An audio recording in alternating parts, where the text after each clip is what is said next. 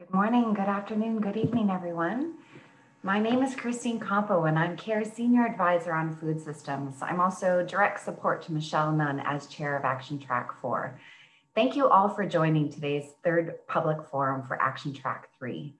This is our chance to learn a, the latest about Action Track 3. What have they been busy doing? And for this to be a truly a people summit, we need to hear from you.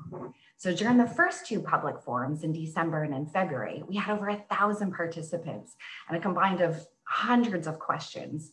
Um, so there's definitely ways that you can get involved in today's uh, session. First, there's the Q&A function, if in case you have any questions. Um, if you have any comments or resources, share those in the chat too. We'd love to, to have them from you. We also encourage you to join the conversation on the UN Food System Summit community. Amanda, if you wouldn't mind dropping a link in the chat to that. And we're also going to have a few live polls happening in parallel to this live presentation that you're getting today.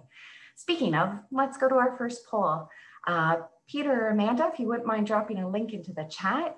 Um, what this first poll aims to do is give us a better sense of who is with us today in the audience. So some of the questions are going to include what experience do you have with farming and growing food. Myself, I'm a female small scale farmer from Southern Ontario uh, who spent most of my life farming before uh, turning to international development.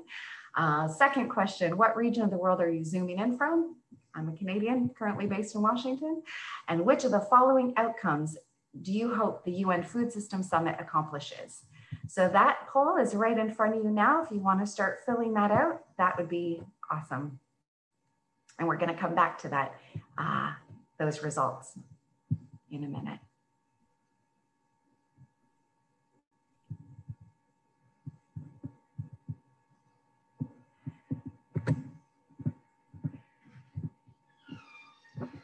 So while we give you some time to fill out that questionnaire, let's move to our very first set of speakers.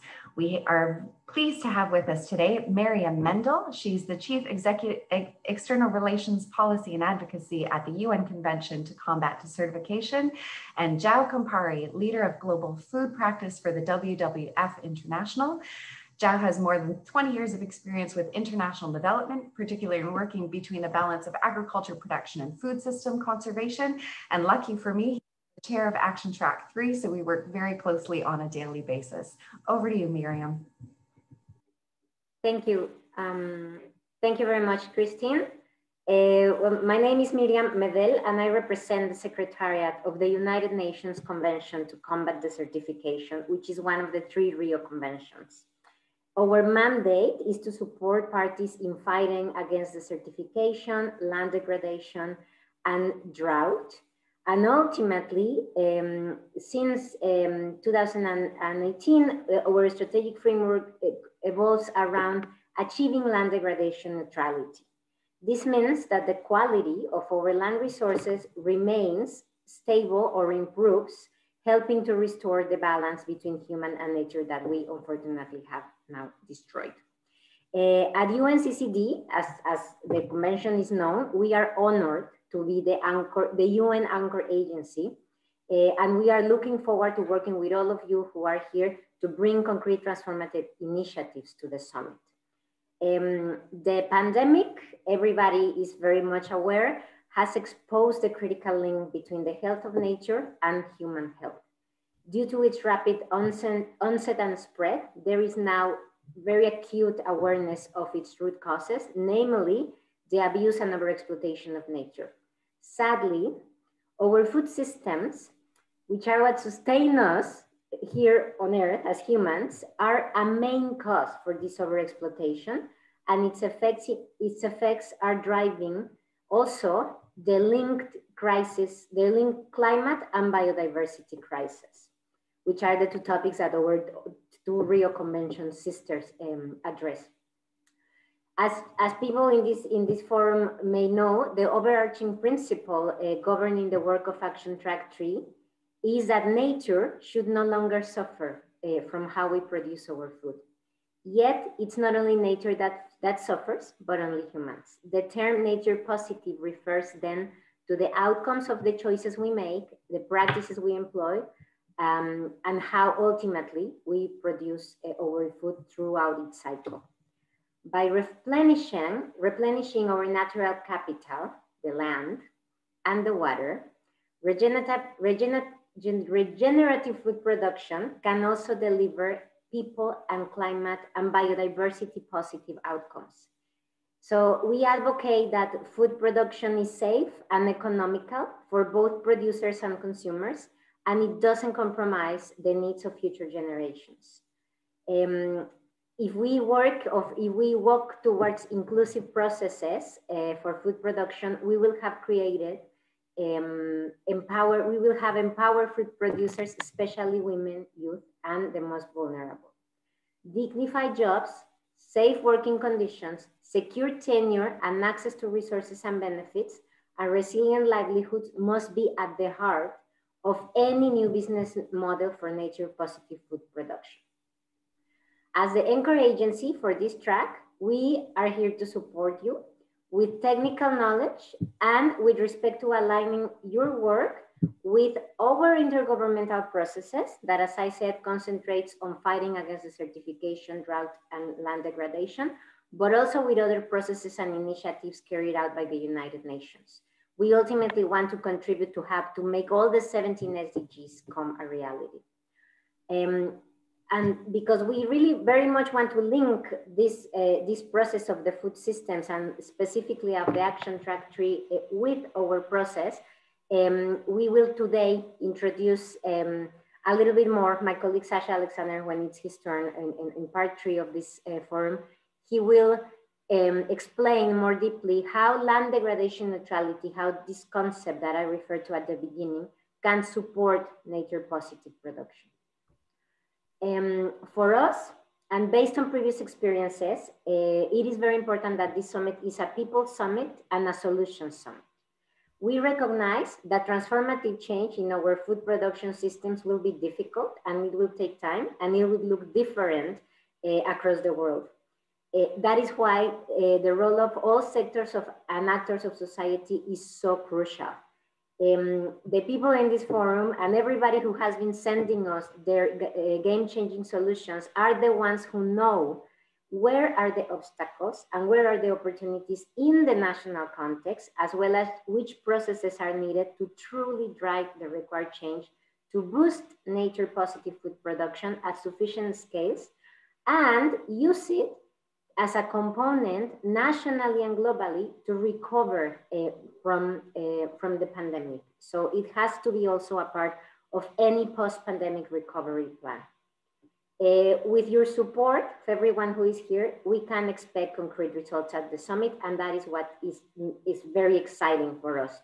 We hope that by September, there will be a lot of awareness around the world on the importance of food systems to achieve sustainable development um, and to ultimately transform the way we produce our food um, for the benefit of our nature, but also of the people of this planet. Thank you very much. Over to you. That was wonderful, Miriam. Thank you so much uh, for the brilliant opening remarks, set the right tone for the discussion today. And you highlighted the need uh, to consider resilient livelihoods must be the heart of every proposition. Uh, thanks for that because Action Track 4 focuses on equitable livelihoods. And later on during today, we're gonna have a special session on how the focus areas of each action tracks are working really closely together uh, to make sure we cut across all that. João, over to you. Uh, Christine, thank you very much. I am having uh, internet issues, so I'm using my mobile phone to talk to you on a 3G. Can you hear me well? Perfectly well. Thank you. Sounds great. Uh, all right, thank you, and I apologize. So, um, you know, welcome everyone. Christine, thank you very much for agreeing to facilitate our workshop. I think this shows integration uh, across action tracks. So my huge thanks to you. And, and Miriam, delighted to be working with you and the UN uh, CCD team on Action Track 3. Uh, many of you have participated before in our public uh, fora, submitted ideas for game-changing solutions, uh, you know, or you have become a member of, of the online community. So, uh, but some of you may be new. This may be your first uh, time for Action Track 3. So I'll just give you a broad overview. Uh, Thanks, uh, Peter. So we work um, across uh, three action areas, as we call it. It's protect, manage, and restore.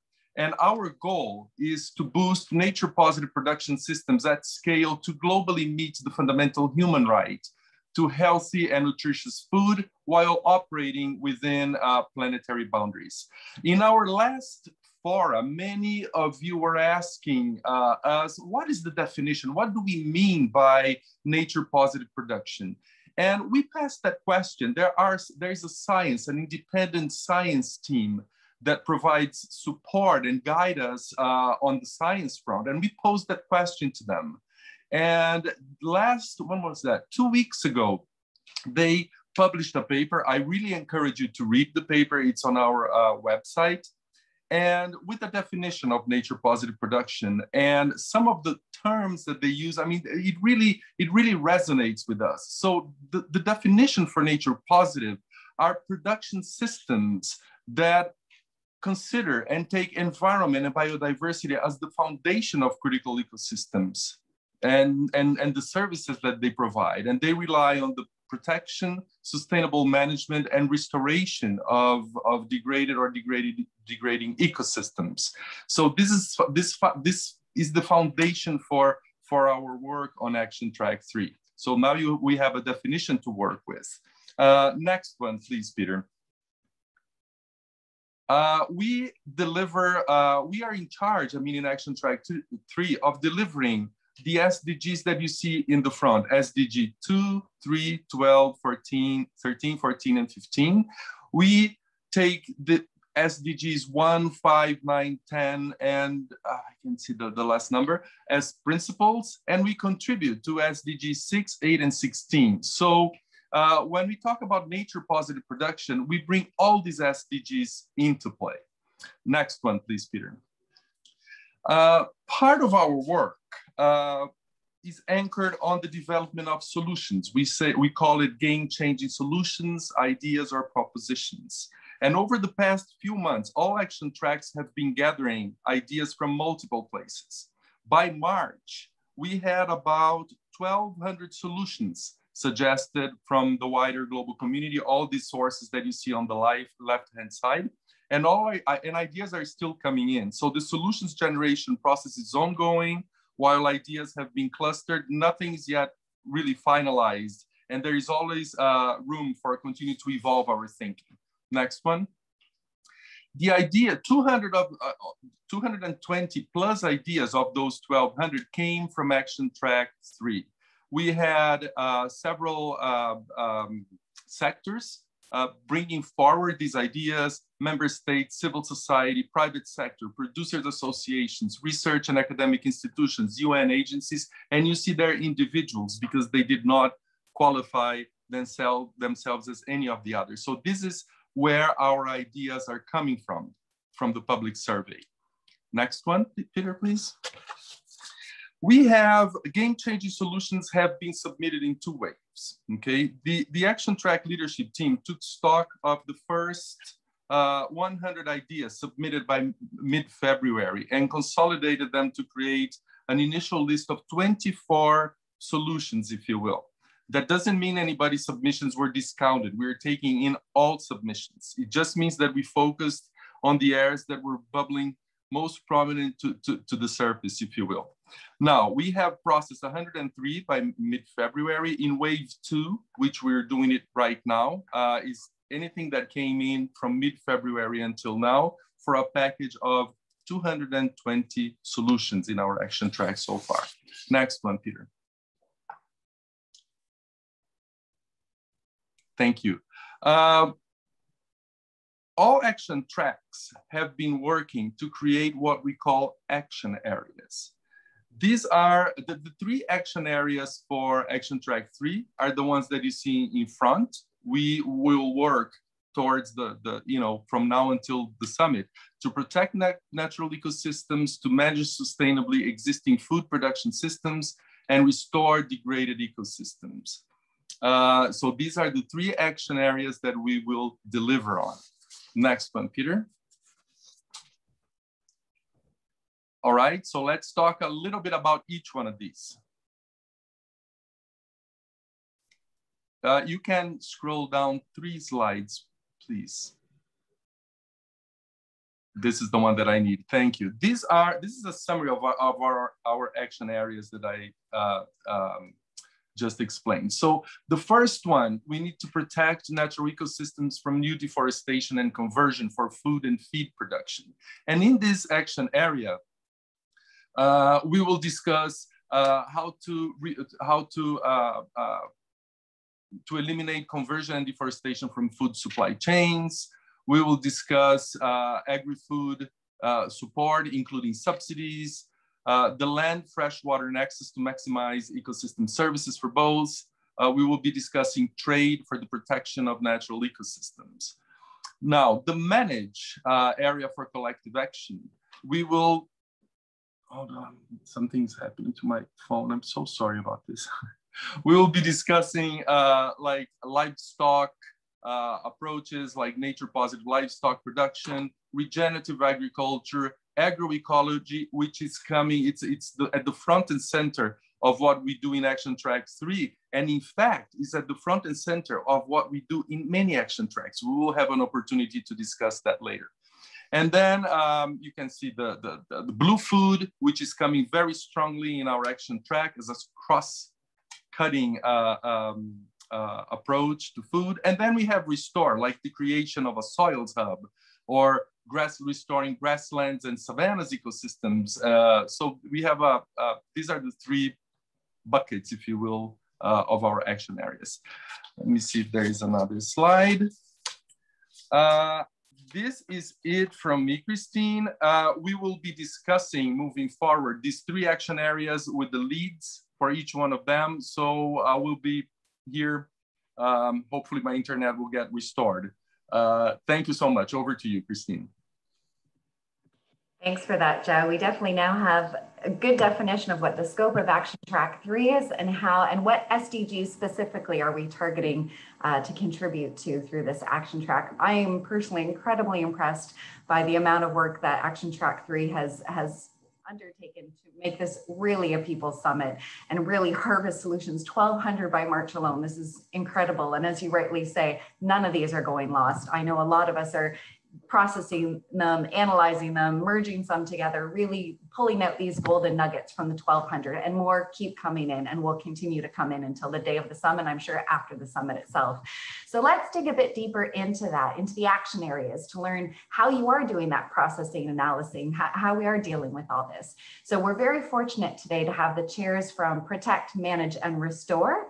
Uh, so we have Fabio and Isabella from Protect, um, we have a video from Juan Lucas Restrepo because I know his internet just went out uh, on Manage. And then we're going to hear from Rital and Leanne on Restore. And the question that I'm going to pose to each of you is you're leading one of the action tracks uh, action, one of the three action areas, protect, manage, or restore. So what is the problem that each of you are solving? What what are you working to resolve?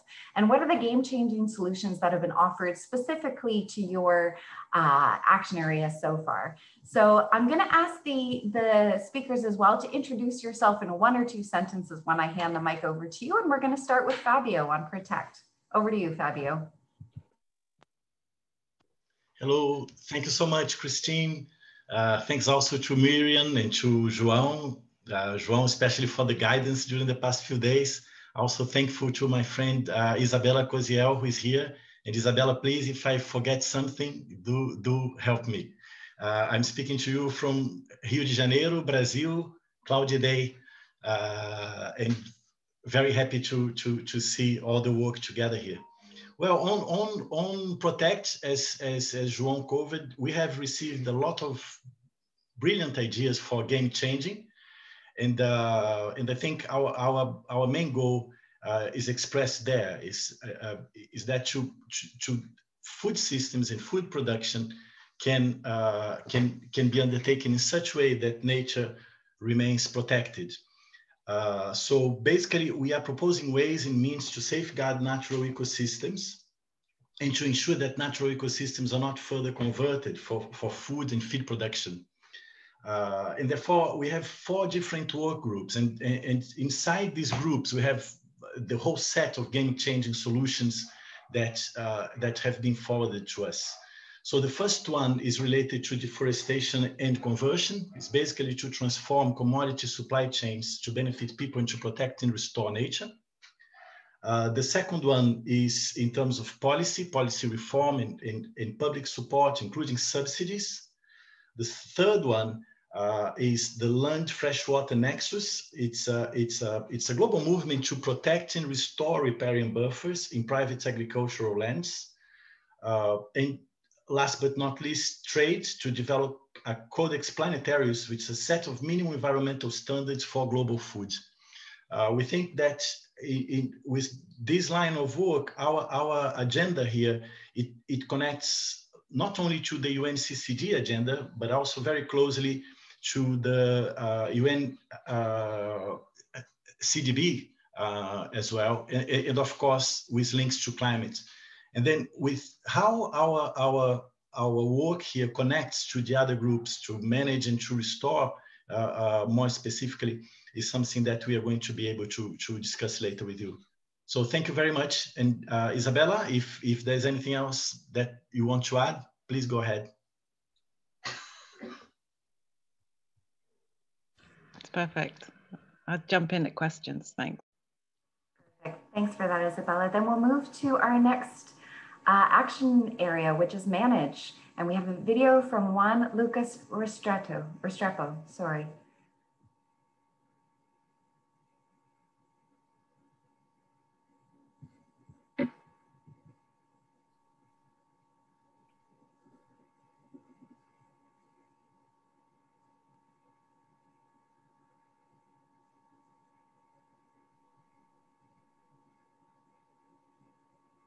Wonderful.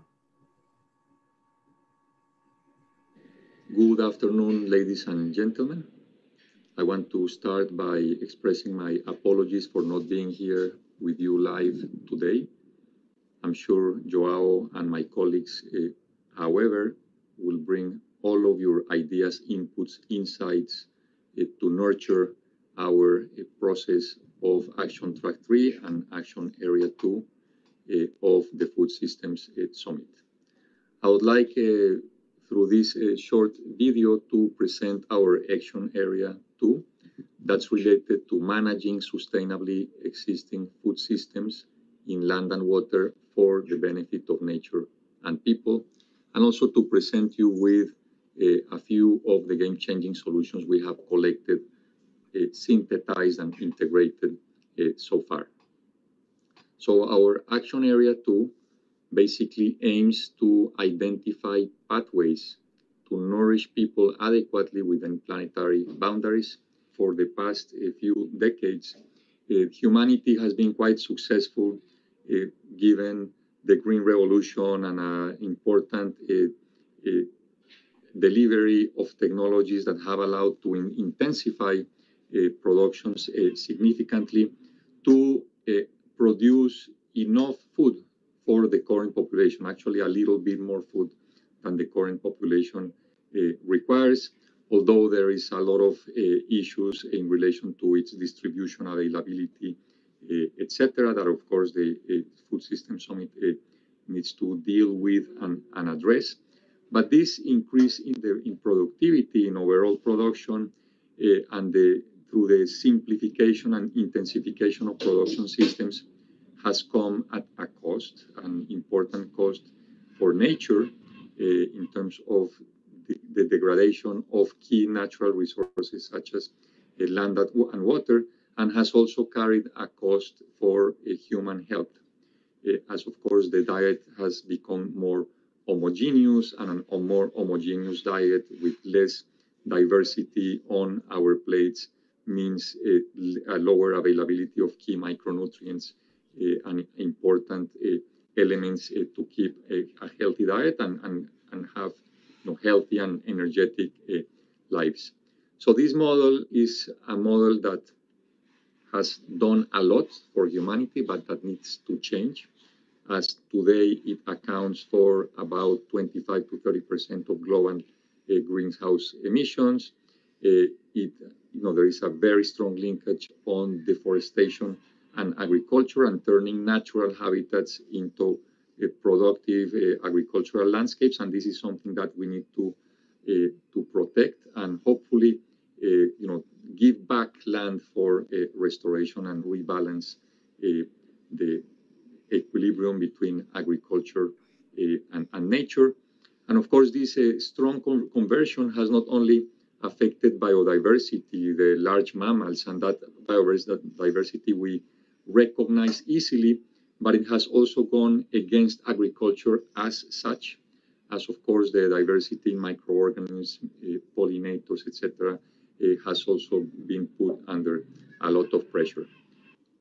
So we uh, need to see how we produce more food, but at the same time make production more sustainable and reduce pressure, this kind of pressure on our ecosystems, and improve nutrition. Make sure what consumers get in their plates, it's affordable and is diverse uh, enough to feed uh, them uh, well and help them live a you know, prosperous and an enjoyable life. So we are open to receiving all of these uh, ideas, acknowledging that there are no one-size-fits-all solutions.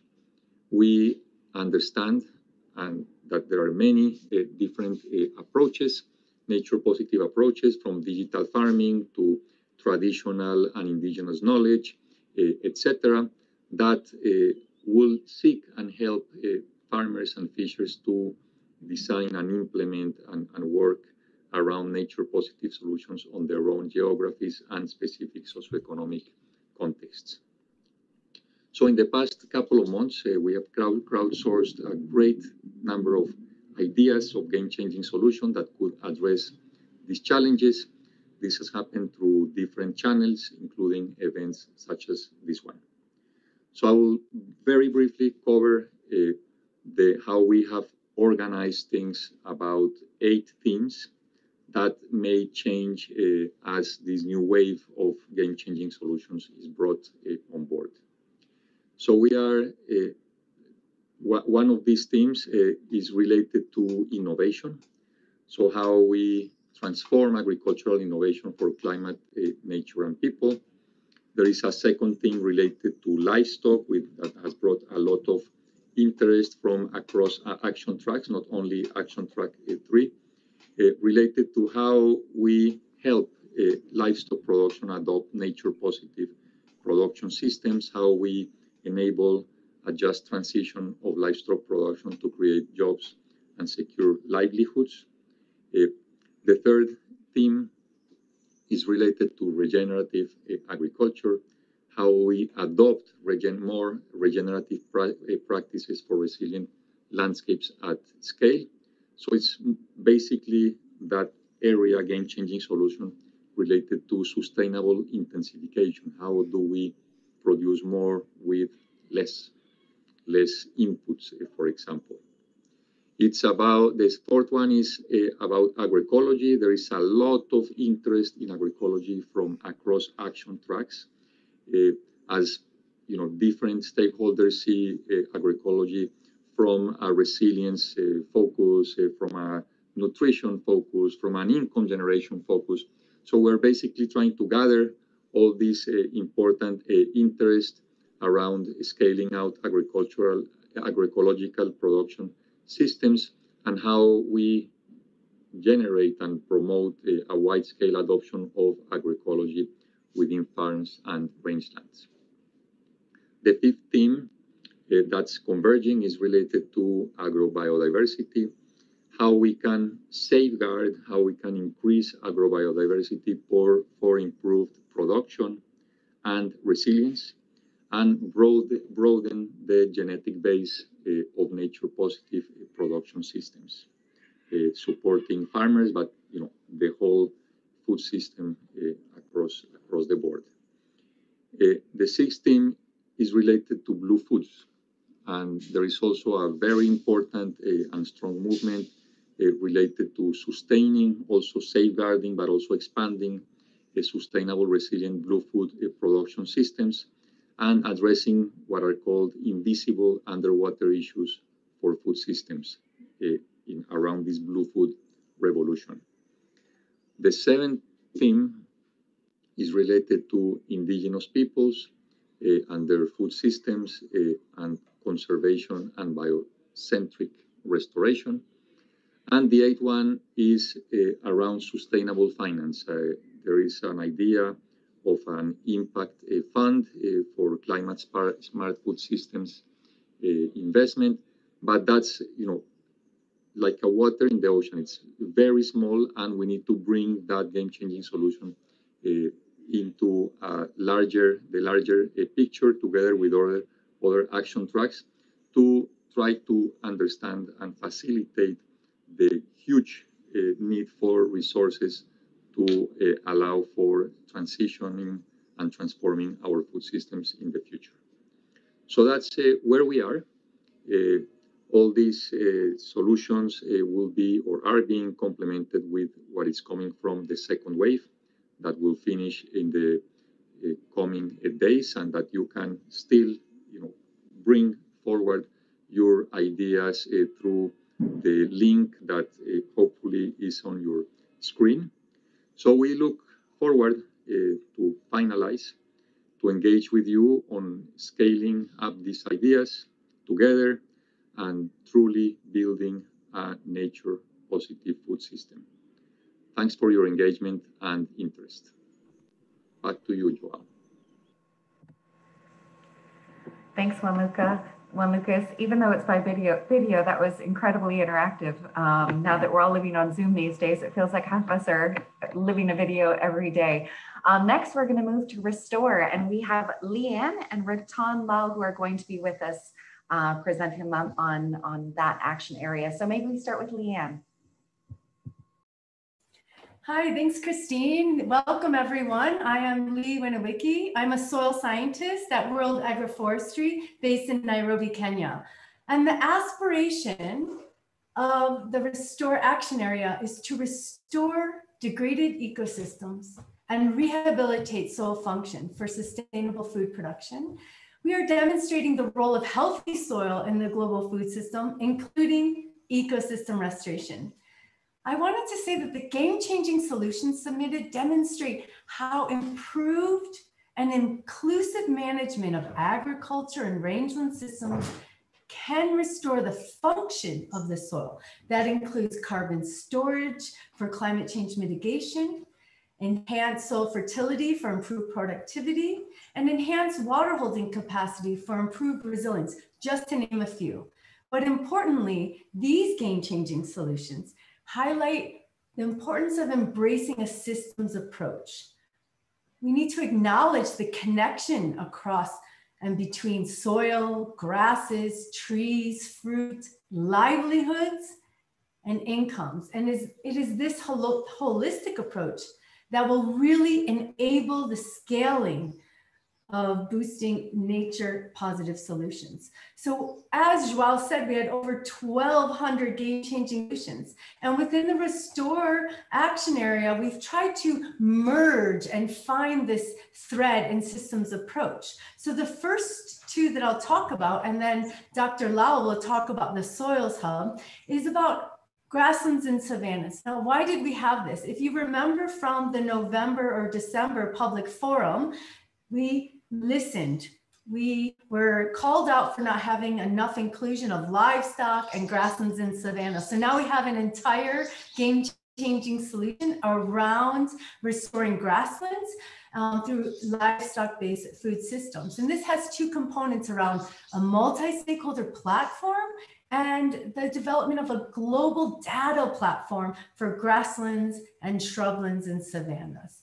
Now, this is very much related to number 18, which is around monitoring and data. So we all know that we are flooded with too much data and yet we don't use enough data and evidence in decision making.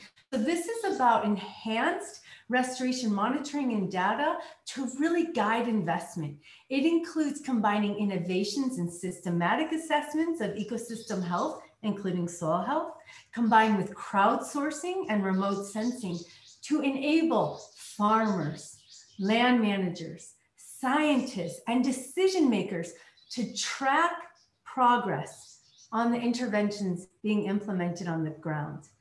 In addition, there's the very important element of stakeholder engagement with evidence to really encourage and scale the use of evidence in decision making and prioritizing of investments. Now, to tee Dr. Lal up, I'd like to say that some say that soil is so prevalent, it is often overlooked.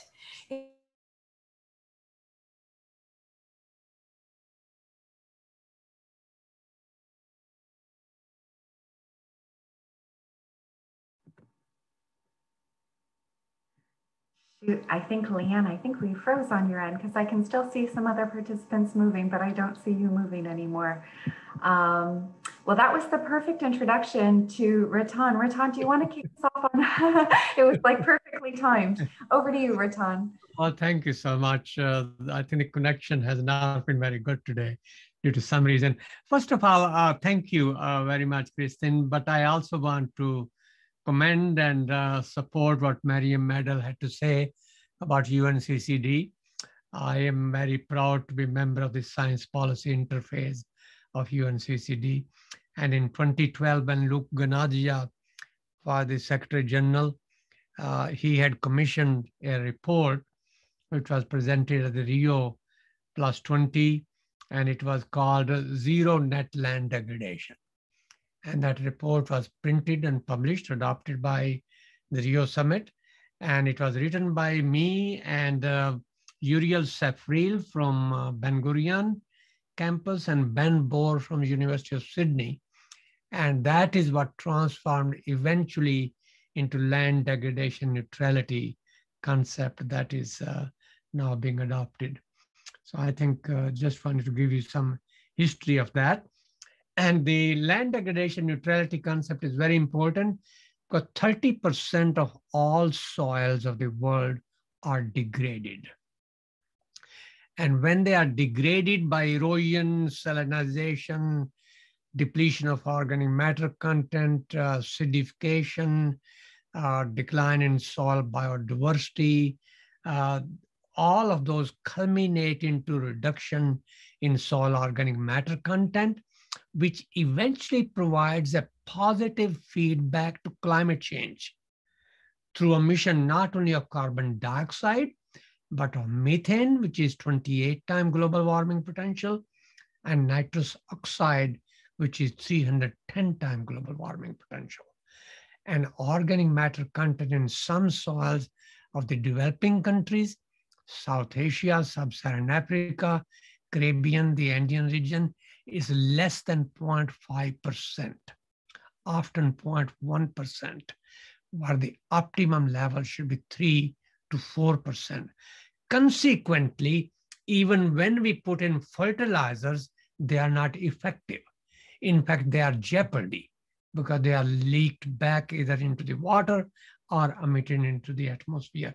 Even the impact or miracle varieties cannot be realized because soils are not responsive. So restoration is very critical. I fully agree the need to produce more, but I think there's a question of, is that mean bringing more land under agriculture?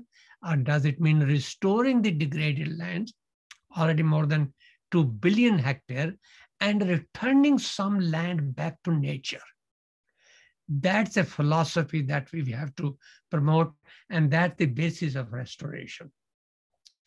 Uh, Lay mentioned about the hub, and I must say, uh, João had some excellent idea.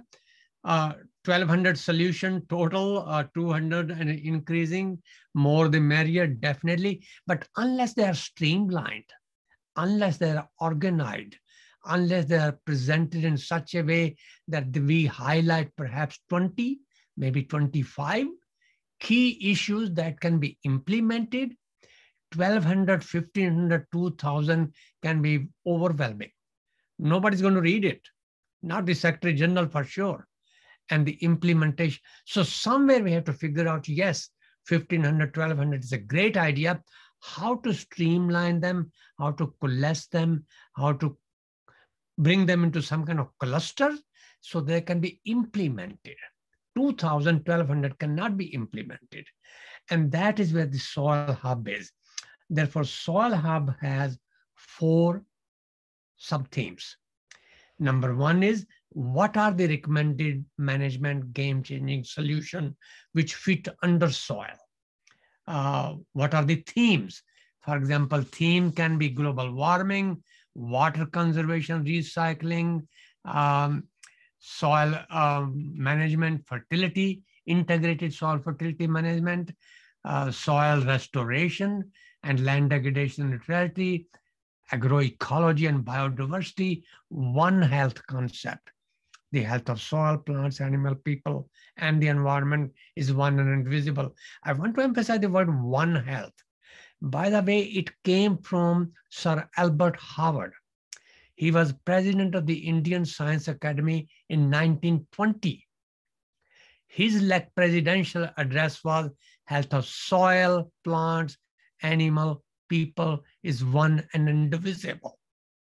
He was the one who promoted the idea to John Rodale of organic agriculture. He was the one who developed the composting pit in 1920 called Indore pit. So when the word soil is missed out from the One Health concept, it got kind of amputated. It's not a complete sentence. The person is missing the history there.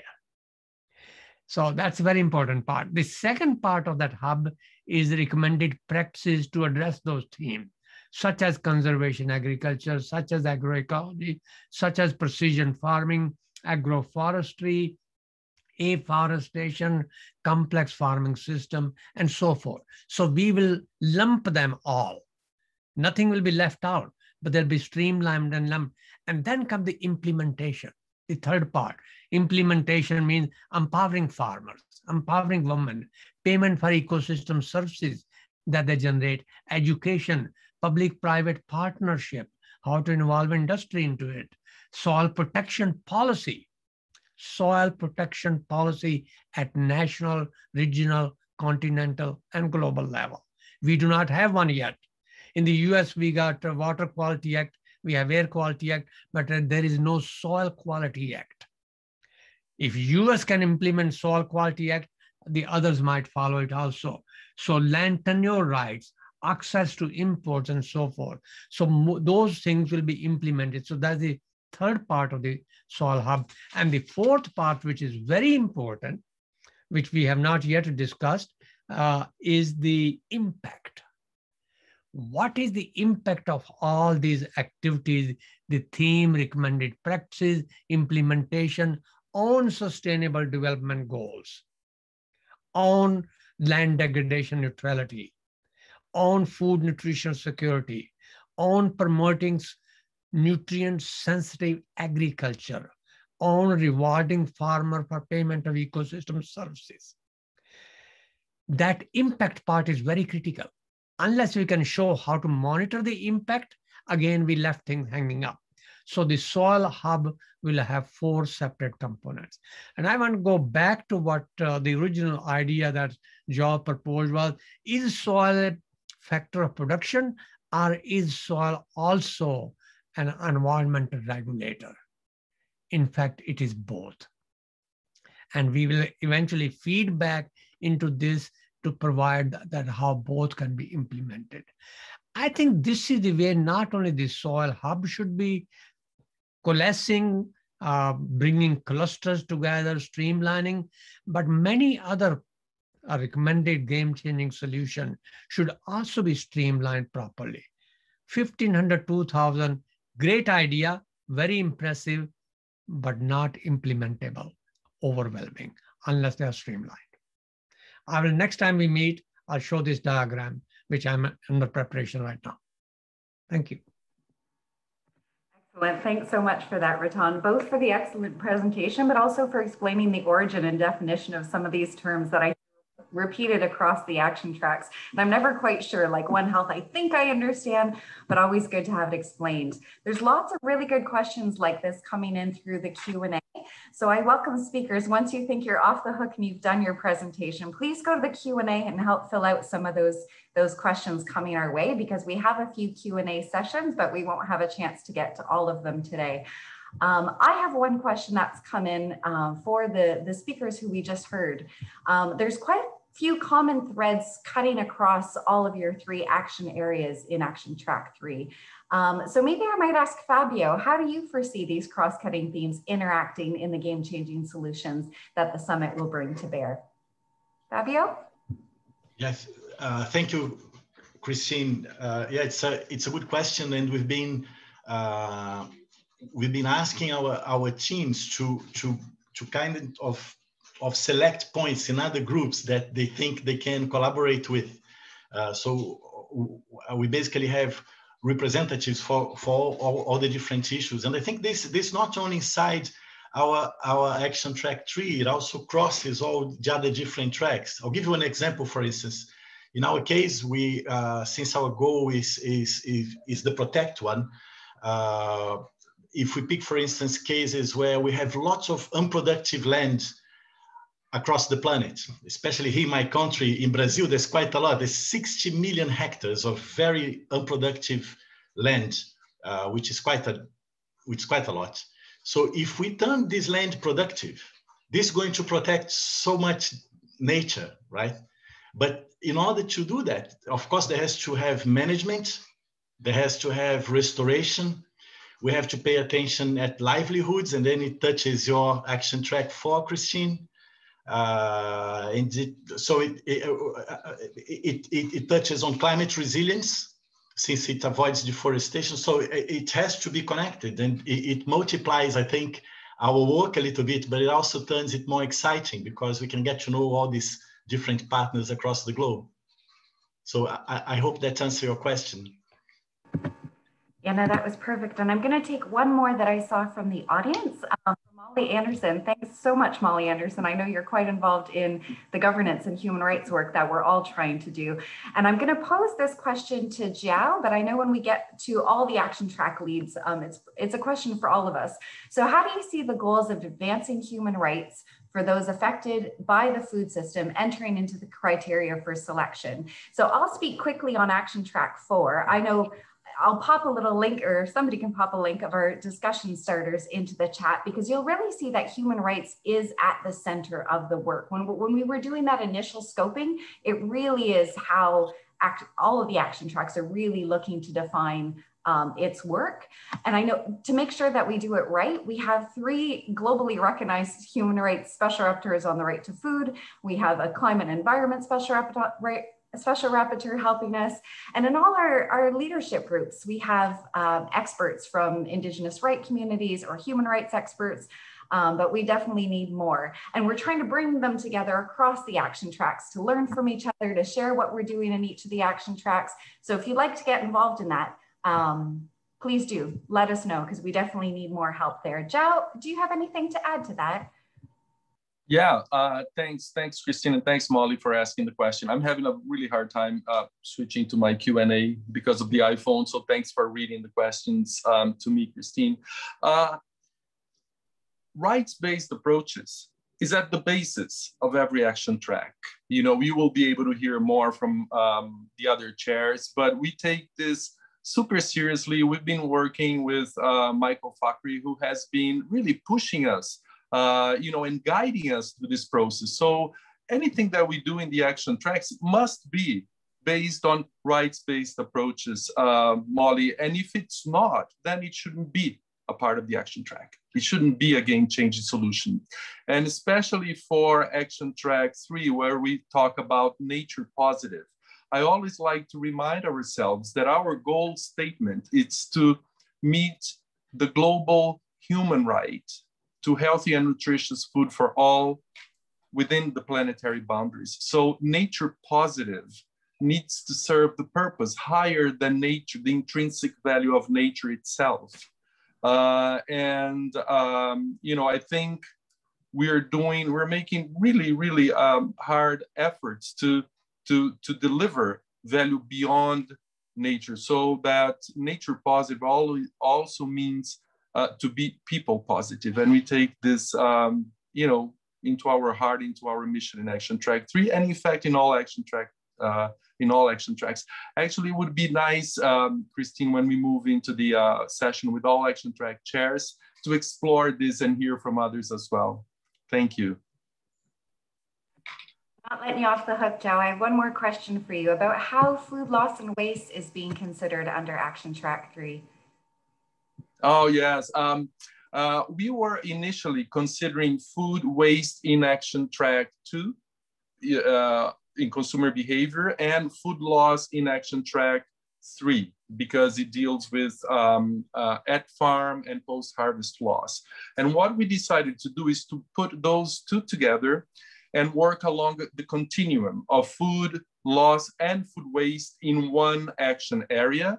And this is being led now by uh, Action Track 2. So it's, uh, it's, you know, we are bringing the best assets and people from Action Track 3 into that action area on food loss and waste, which is managed by Action Track uh, 2 right now. So it's, it's there.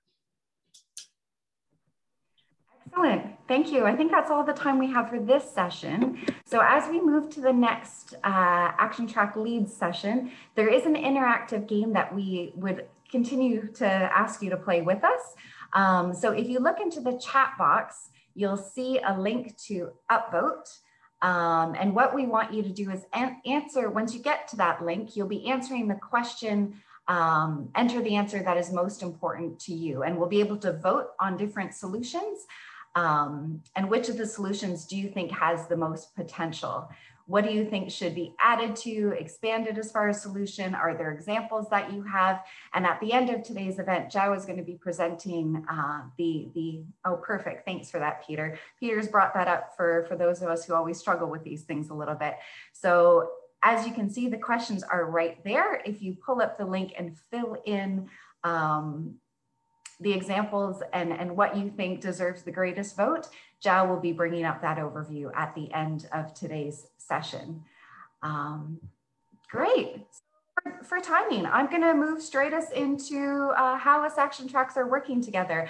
I wanted to highlight, since, since I'm the moderator, but also one of the action track leads right now, I wanted to just repeat what Juan Lucas said in his video. He was talking about agroecology. And I know for us, it cuts across the action tracks. For action track three, of course, it's the best production model for the environment. fraction track four, it's food sovereignty. It's, it's, it's the right to seeds for small scale farmers. fraction track five, it's connection to land and connection to communities against shocks and risks, since that's what they're, they're asked to come at it from. And the benefits to nutrition. And again, these things cut across all of us. So I'm gonna start off with Lawrence Haddad, who is the executive director of GAIN, the Global Alliance for Improved Nutrition. And he's also a World Food Prize awardee in 2018, not like anybody needed to be reminded of that. Um, so Lawrence, what does natural positive mean to you in Action Track 1? Thanks, Christine, and thanks, João and Action Track 3 team for inviting all of us to this session. It's fantastic to be here, and uh, it's a great testimony to the fantastic collaborative spirit we have across the action tracks. Um, uh, what does nature positive mean to some of the work in Action Track 1? I've got three examples for you, and I've got two minutes one, one minute, 30 seconds now. First example is um, we're, we're doing a lot of work on uh, anemia for women and wasting for children under the age of five. And animal source foods are important to prevent wasting and to prevent anemia. So when we do this work on animal source foods, whether it's eggs, dairy, fish, or, or poultry, or, or even red meat, we have to, of course, pay a lot of attention to greenhouse gas emissions. So how can we do this in a way that is not going to um, uh, detract from our ability to meet the Paris target? So that's the first example. Second example is we're doing a lot of work on promoting vegetables. So vegetable consumption is one of the true sort of no regrets interventions on the nutrition side. It's good to prevent non-communicable uh, diseases and chronic uh, diet-related non-communicable diseases like diabetes, hypertension, and and, uh, heart disease. And it's also good to prevent um, stunting and uh, and wasting and, and other things, especially if it's dark green leafy vegetables. But we're very conscious of the fact that different vegetables have different water requirements, different nitrogen cycle requirements, and different phosphorus cycle requirements. So we have to factor that in to, to the work we do. And the third third example is doing a lot of work on food safety. Uh, and here, one of the one of the deterrents to people consuming fresh foods is worries about pesticides uh, and herbicides. Uh, and of course, if we can uh, reduce the amount of pesticides and herbicides that are used on fresh foods, then it's a complete win-win in terms of the environment and in terms of food safety and the consumption of nu safe, nutritious food. Back to you. Excellent. Thanks for that, Lawrence. Action track two, we have Gunhild Stordalen, physician, environmental activist, founder and president of Eat, of Eat Foundation, another one that doesn't need to be uh, for us to tell us who she is. Gunhild, nature positive production. What does that mean to your action track, action track two? Thank you so much, Christine and Joe, for bringing us all together. This is uh, super inspiring to, to listen into, and I'm grateful for being able to take part. Um, well, Action Track 2 is all about shifting to a sustainable consumption, but uh, also acknowledging that it has to be healthy. It has to deliver on Lauren's action track uh, on healthy, safe uh, nutrition for all. Uh, so uh, it's basically recognizing that food has a huge impact on the environment and that we are really running a deficit uh, on environmental or these planetary boundaries. So uh, I think this is also a, a notion that sustainable uh, or do no harm agriculture is no longer good enough uh, because uh, if it's sustainable, it keeps us at zero, but it really fails to recognize that we are way beyond several of these planetary boundaries already. Uh, so what Action Track 3 is all about, uh, restoration and regeneration, obviously is also critical to bring us back within limits. Um, so I think also um, on, on the link between shifting to sustainable food consumption uh, and nature positive production, I would say that we cannot achieve the one without the other. Uh, and we eat what we grow, uh, that's a, a, fact. So unless we break the trend lines towards uh, increased consumption of just a very few crops, uh, I mean, wheat, rice, maize, uh, also combined with a few sources of cheap industrial meat, uh, then we, we really can't achieve sustainable consumption patterns. And this also goes obviously for ultra processed food. We know that 50% or 60% of our calories today come in the form of uh, junk food and uh, being able to shift to sustainable consumption patterns uh, within planetary boundaries won't be possible unless we uh, grow differently and a much more uh, diverse uh, set of plants and animals and do that in a way that works with nature, not against it. So thank you, over. Perfect, thanks Gunhild.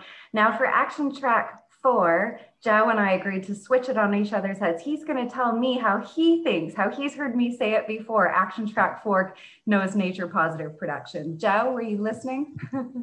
yes, yes, I love this. Uh, thanks, Christine. Look, uh, we are all working across action tracks towards a sustainable, towards a, a sustainable present and food future. And I think that a sustainable future requires us all to halt and reverse biodiversity loss and limit climate change while improving livelihoods, creating resilience, and meeting the fundamental human right to healthy and nutritious food for all. This is how I see a sustainable food future. And this is what connects our action tracks, especially three and four, as you mentioned. And it's only possible to achieve this by transforming the food system and adopting nature positive production practices at scale within planetary boundaries. And when we talk about nature positive, like I mentioned before, we also mean people positive right? So one needs to equate the other. And we need to pursue solutions that deliver both. And as an example, although different solutions will be required in different contexts, the work of the action tracks uh, are doing, for example, on agroecology is a funda fundamental part of this, of this transformation, Christine. This is because agroecology delivers uh, uh, what, what uh, agroecology delivers is a fundamental part of the transformation. Agroecology delivers uh, social and environmental outcomes. It improves both. It ensures dignified livelihoods as much as it ensures nature positive impacts. We have, uh, in my view, a unique opportunity to accelerate the adoption of agroecological approaches uh, within the Food System Summit and to ensure that its relevant principles can be transferred to all nature positive production practices, all of them. Um, and we need to align also agroecology more and more with the UNFCCC agenda, with the CBD, with UN CCD, the Oceans Conference, why not, you know, uh, and accelerate the adoption of these approach, approaches to ensure its relevant principles can, can be transferred, as I mentioned. Um, one thing that we need to do, and we need to work hand in hand with uh, the CFS, the Committee on World Food Security, and leverage the great work and the great assets that they have, you know, such as the voluntary guidelines on food systems and nutrition, which was recently approved, and also the policy recommendations on agroecological and other innovative approaches for sustainable food systems. These are incredible assets that involved a lot of work from experts in this field. And we are committed to building upon it to evolve our uh, thinking in, in action track three, four, and all other action tracks. So um, yeah, that's back over to you, Christine. Thank you. Perfect. Thanks for that, João. And that gave me a chance to give a few minutes to look at the Q&A. Lots of questions about blue food, aquatic foods, seaweeds. And that's another way that Action Track 3 and 4 are working closely together because in João's action track on action track three, he can't be thinking of fish and flora without the fisher folks. So we're definitely working across the action tracks when we really think of these, these propositions that are being put forward. Sandrine, you're co-chairing uh, action track five with Saleemul Huq. You're also president of the club, sorry, Club of Rome. Um, what does nature positive production mean to your action track? Thank you so much, Christine. And I just want to compliment again João for this very important event. And as Lawrence said, and also Gunhild, I think that um, first of all, let me start by saying that nature is the underbelly of resilience, and we are the resilience action track. So as people and nature move together, we need to make sure that that One Health approach is fully integrated across resilience. And, and I want to say that one of the, the, the shifts that we've seen in the way in which we're collaborating together, all of us, is the fact that actually we've seen that we need to put in place a systems approach, that we need to tear down all the silos. So nature is not just action track three, but as we've already seen, crosses all the action tracks climate change hits us all and we all know that people are on the front lines which is most important to action track 4 so the fact of the matter is that what we've tried to do through the resilience action track uh, action areas and the clusters is to first of all look at the humanitarian development peace nexus and the way in which the nexus looks at also nature through the way in which water energy and food is looked at through an integrated resilient food system. Then we also actually look at enhancing local production for local consumption, which again takes into consideration very local procurement processes and how much more agroecology or more natural processes are taken into consideration in the production of food. And that's under our universal food access to build resilience. And then most importantly, we are obviously, because we need to look at both the pandemic, but also at crises and risk management, we're very much looking at what are those resilient development pathways, in particular when we're looking at the climate risks and the way in which we look at adaptation, mitigation. We know how much biodiversity in nature plays an unbelievably important role, both in terms of afforestation, in terms of carbon stocks, soil management, etc to get into some of the more specifics, and you mentioned blue food, clearly we need to look at fragile zones and nature and the protection of our most fragile island zones, those that actually are on the front line of prob probably losing their islands to oceans encroaching is very important. And therefore, how do we look at mangrove development? How do we look at also the way in which we obviously look at the seas in terms of the development of the seas, which is both climate and nature positive rather than negative. So mangrove reforestation, ocean reforestation, and macroalgae. But then obviously we've all talked about agroecology. We also need to look at land use in general. So agroforestry in addition to agroecology and the biodiversity links within that. And then I would just add and finish with the way in which we really need to put in place these more integrated systems approaches. So as we've all said, as we move forward together and we look at the role that nature plays across all our action tracks, and we look at the link with people, we have to realize that if we don't get it right on nature, and when if we don't live within our planetary boundaries, then we won't actually be able to create those jobs and those livelihoods for the smallholders, for the farmers that we so want to protect. So I guess I'll leave it at that. And just by finishing that for us in the resilience track, nature clearly is the underbelly of resilience. And it is the underbelly of what we'll be able to do in order to have a holistic and productive food system that continues to mm-hmm. serve us people, but also the planet. Well, I said 15 incredibly incredibly useful and as you can see the overlap between us. Um, i one of the questions that came in is how have members been member states been engaging in defining and prioritizing the propositions put forward? How are we really getting this buy-in from the beginning including with government agencies as well? I think gunhild if it's okay i'm going to come to that question to you first and then maybe over to lawrence. Uh, perhaps you can start with lawrence uh, christine Sure. I wasn't sure. I was going to come to you first, Lawrence, but I saw you got interrupted there for a second. So I did, Christ Christine. I, I, did. Could you repeat the question? I'm very sure, sorry. Of course, no problem. Um, a question from the audience was: How are member states getting engaged in defining and shaping, building coalitions behind some of the propositions that are coming forward? But not only member states. A second question was about what about intergovernmental agencies, UN agencies? How is everybody getting involved in our in our proposition development? Uh, thanks, Christine, thanks for the question. Um, I mean, everyone's piling in. It's an open door, and we're inviting everyone to come and join the fun. Um, so, uh, on the UN agencies, there, you know, anyone who wants to join is is welcome to join, and they're they're invited to join. And we we say, what are you interested in, and we link them up with the person that is developing the idea. On the member states, um, specifically, been paying a lot of attention, all of us, to member states because we know that if member states are not actively engaged, then we failed. This is a member state summit. It's a UN summit. So it's for the member states. So in each action track has about 20, 25, 30 member states who have signed up to active participation. And so we update them every week. They're in every leadership team meeting. Uh, we've most of us have had one-to-one meetings with each of the member states. We're trying to find out what are your priorities? Uh, what would you like to share with the rest of the summit? Things that are, are successful from your country that you want to share and showcase. And then which of the which of these nascent emerging game changers would you like to co-construct with us? Um, so we're getting ideas from the member states. Uh, Chile just just submitted a really interesting one to us on uh, nutritious food coupons, and we're getting them all the time.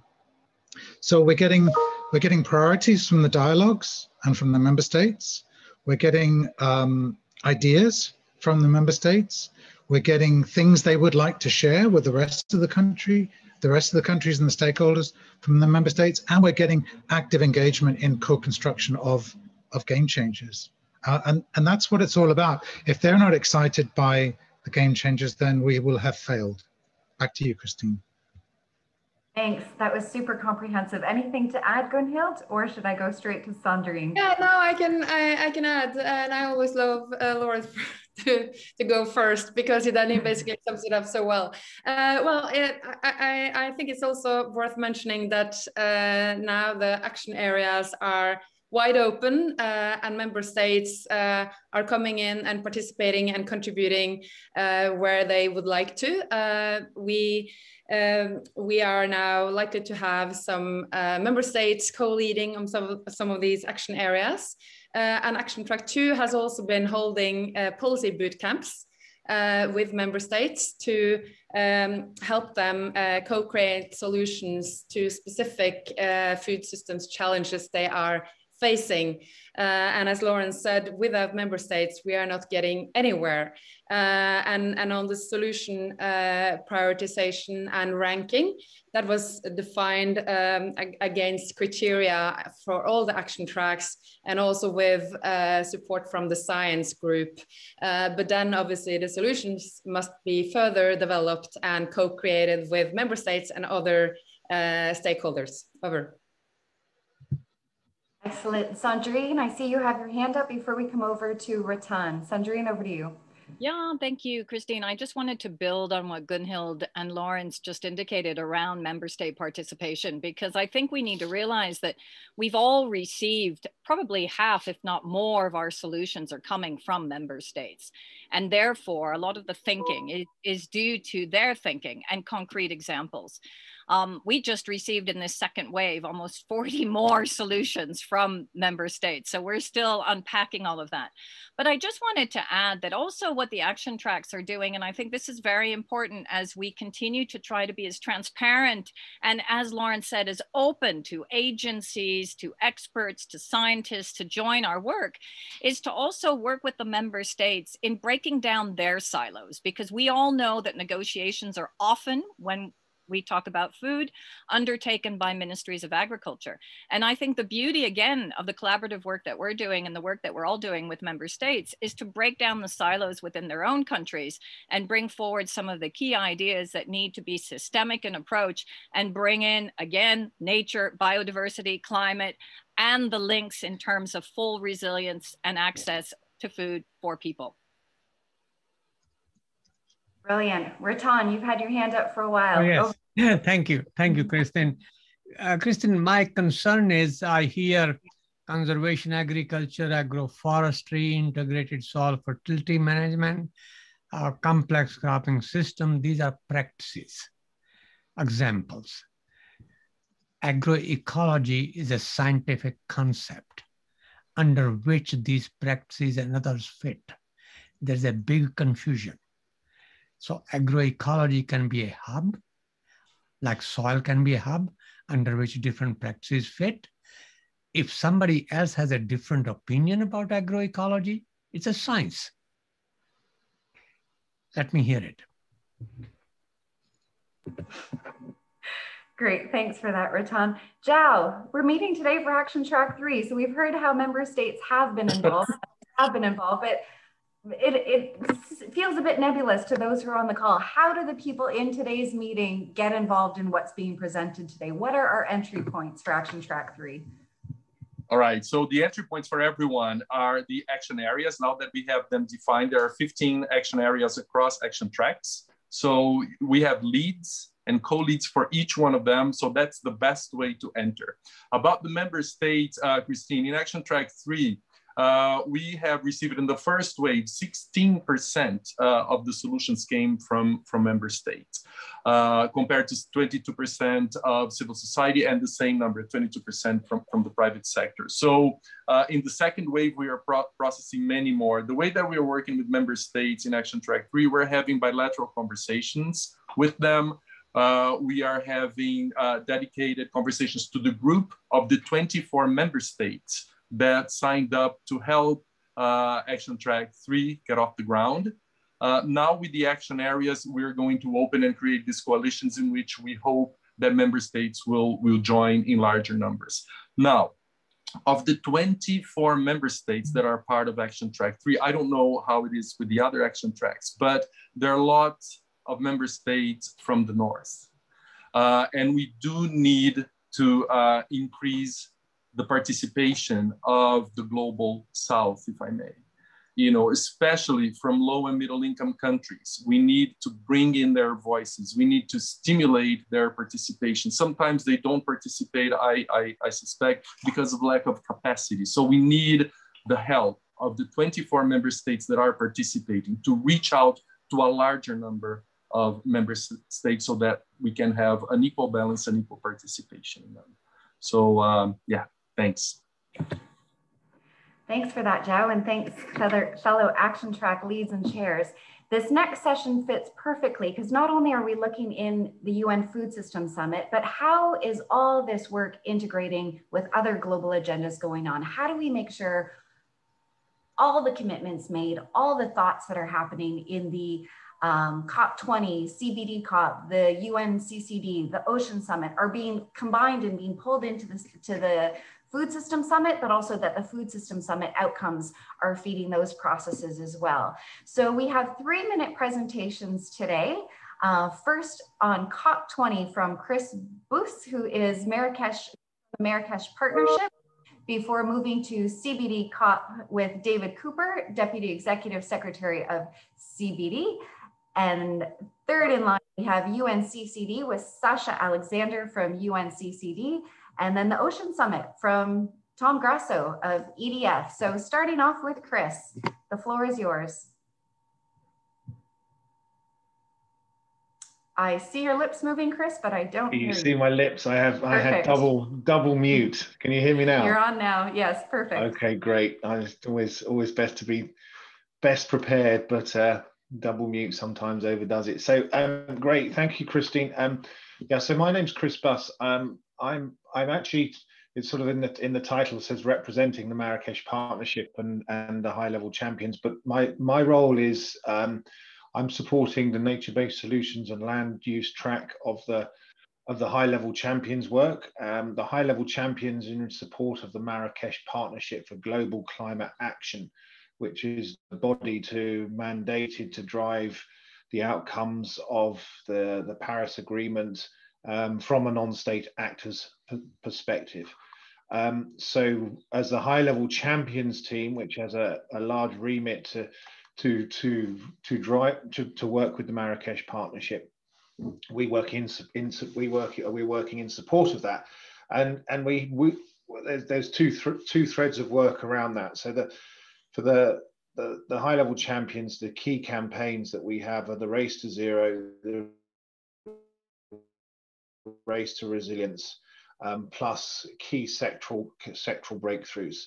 Um, the first two race to zero, race to resilience is the, the mitigation adaptation of the two main pillars for, for climate change action um, as per the, the, the, Paris Agreement. So um, I think just to, to sort of line of, of where we're going with COP26, and I think it was really interesting hearing that I jumped in and heard the last 20 minutes of the last session, and and much was made of the links with nature, biodiversity, and climate, and and to a certain extent, my that was actually saying exactly how we're we're you know we're positioned in this, and how we see the links with our work for COP26 relating to the Food Systems Summit.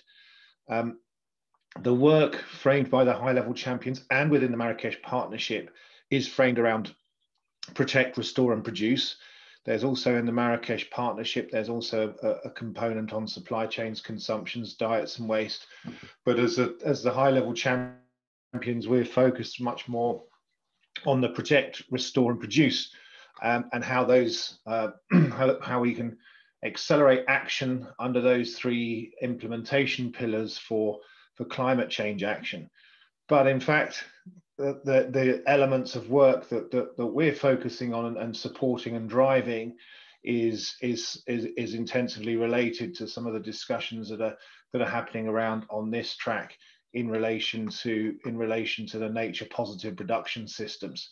In fact, all our you know all the work that we have is framed around the narrative of nature positive. So protect, we're engaged in processes like the FACT dialogue, the FACT dialogue, which is working on the forest and commodity supply chains, um, reducing deforestation, and we're working to sign up um, uh, actors to, to, to, accelerate their drive to net zero.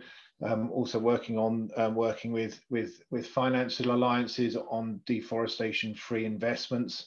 Um, so the ultimate aim under the UNFCCC is reducing deforestation, reduced emissions, increased capture of, of, of, carbon stocks. But you can see just in relation to that of how we're involved in uh, you know, the, the commodity supply chains um, and the food production systems as a critical component of that. Under Restore, um, we're obviously working towards the, the New York Declaration of Forest target of 350 million hectares, but also bringing in a, a, a component of regenerative agriculture linked to that. Um, and so within that, that target of 350 million, million hectares, driving non-state actor engagement in delivering that, we actually have a strong focus on Africa um, as a, as a sub-campaign due to COP27. um, being in Africa, proposed to be in Africa. So we're driving land restoration, working very strongly with, with agri-businesses, um, really focusing on that forest and farm interface. So whilst we're looking at the, the carbon capture benefits of improved agricultural systems, of agroforestry systems, in fact, there's you know this is a this is a also you know the key driver as, as we're seeing in, in some aspects is working with the agri businesses to secure yield, to sequester carbon, to make sure it's socially just. So working on on those those those those, those three S's to to drive that. And then we're also looking at the, the third component of protect, restore, is produce. That's where we have a large program around regenerative agriculture, obviously linked to restore, but this is driving specific driving ambition with agribusinesses to net zero, the role of farming systems to help to achieve that, but also making sure that's linked to agricultural yields and exploring processes like the voluntary carbon markets and, and carbon sinks and and potential links around that, the, the work that's being done there. Um, all underpinned by the nature positive agenda um, and strong farmer engagement. So really seeing the, the role that um, the land use systems are playing, not just only in climate change solutions, but also in longer term sustainable agricultural system, production systems, etc. And, and underpinning all of that is, is making sure we have a, a set of credible, robust metrics on the race to zero, um, the race to resilience, working with, with, with initiatives such as SP, SBTI to, to drive that. And, and in, in moving towards COP26, I think the synergies with the Food Systems Summit and particularly this track, the IUCN Conservation Congress, these are all great opportunities to, to enhance and strengthen our message to COP26. That's excellent, Chris. Thank you so much for making those linkages to Triple C. Now we have David Cooper, as I said, from CBD COP. David, your three minutes starts now. Thanks very much, Christine, and thanks for the opportunity to, to join this important uh, conversation. Um, really, when we look at the future of biodiversity and the changes that are needed to, to, to move towards our 2050 vision, um, nothing is more important than the, the way we manage food uh, and agriculture. Uh, and I think this is largely important, largely the same for when we, you know, we're looking at health and human well-being, the sustainable development goals. Uh, and so we're certainly very keen uh, uh, to be linking with the UN um, Food System Summit. Um, we're participating in Action Track 3, but the other action tracks are also relevant. It's important because the biggest drivers of biodiversity loss are largely related to the food and agricultural sectors. Land use change on land, overexploitation in the oceans, but also uh, overuse of fertilizers and pesticides, and of course also the effects that are mediated through climate change. So we need to reduce these drivers if we're going to protect um, biodiversity. And to do that, we also look have to look further in the food system in terms of reducing overconsumption, particularly of, of, of meat products, and reducing waste.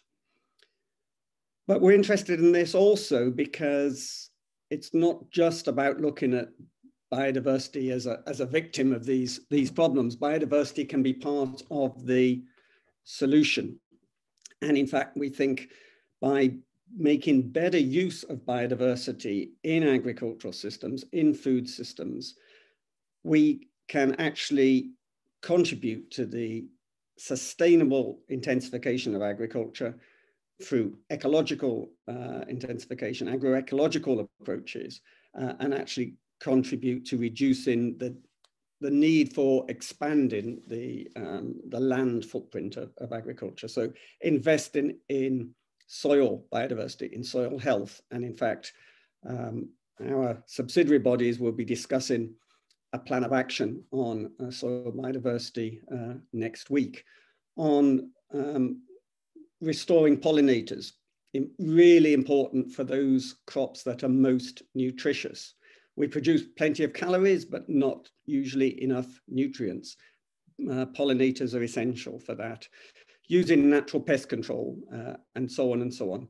So, you know, we think if by investing in, in, in the biodiversity behind agriculture, we can actually move to a win-win solution. So these issues uh, were highlighted in our fifth global biodiversity outlook, um, sets out a number of tra uh, uh, transitions there. And now they're being discussed as parties of the convention negotiate the post-2020 global biodiversity framework, which is then due to be considered in Kunming, China, uh, scheduled for later this year.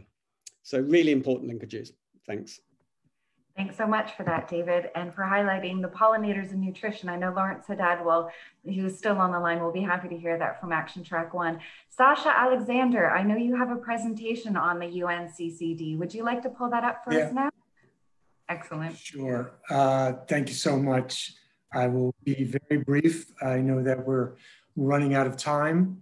And um, you've heard a lot about UNCCD and land degradation neutrality throughout this um, forum. Uh, we, are, our mandate is to assist countries uh, to combat desertification, land degradation, and drought. Um, there, uh, many of the UN uh, entities have uh, unique entry points uh, to the Food System Summit and will have unique roles in implementing the outcomes of the summit. Uh, so I think it's an important thing for this session to, to look at the, uh, the uh, existing uh, linkages uh, between the, the UN system as a whole, and then in particular the, the multilateral environmental agreements.